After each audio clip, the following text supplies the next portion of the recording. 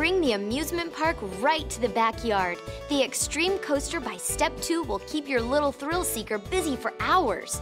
Watch as kids race down the nine foot track and then push the coaster car back up the non slip steps to do it again and again. The tall, secure platform has safety rails on the side and hand grips so little daredevils can push themselves down the track when they want to go.